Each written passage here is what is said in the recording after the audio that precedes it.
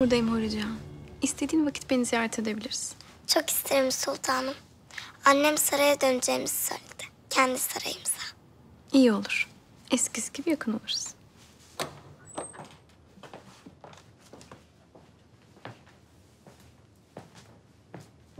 Sultanım, Mihrim'e. çocukları ziyarete gelmiştim. Kal istersen. Yemeği birlikte yiyelim. Ne vakittir görüşemedik seninle. Sohbet ederiz biraz. Huri Cihan sarayınıza döneceğini söyledi.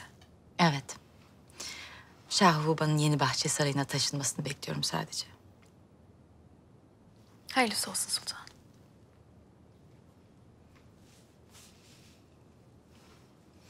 Mihrimah.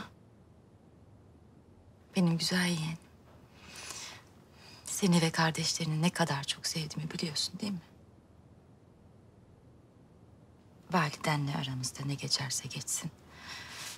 Bu değişmez. Elbette sultan. Size karşı bir kusurum olduysa bağışlayın.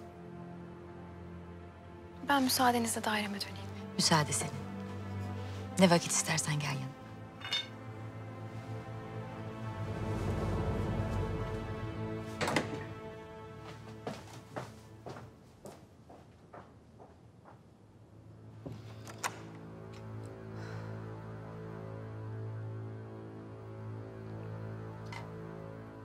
Ne oldu? Korktun mu? Ben korkmadım da sen korkmuşsun. Korkmuşa mı benziyorum? Seferde istifra ettiğini biliyorum Selim. Ne? Yok öyle bir şey.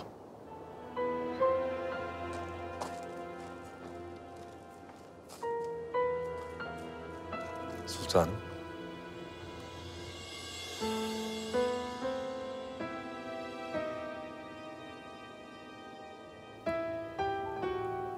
Gülfem.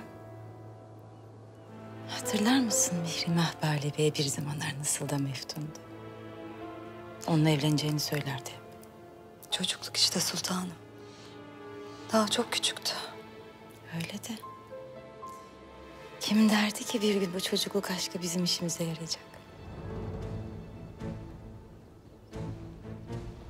Ne demek bu?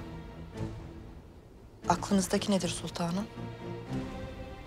Gelin benimle. Hünkârımızın yanına gittim akşam. Sizi sual ettim ama çıktığınızı söylediler. Evet işim vardı sultanım. Bir şey mi oldu? Sizinle konuşmam icap eden bir husus vardı o yüzden. Kim söylediyse yalan söylemiş. İstifra etmedim ben. Babamız seni bir daha sefere götürmeyecek. Gelir gelmez hemen kavgaya mı tutuştunuz? Seferde korkudan istifra etmiş. Bunu söyleyince saldırdı bana. Kes sesini Beyazıt. Hemen saraya dönüyoruz. Bali Bey, Sultanım.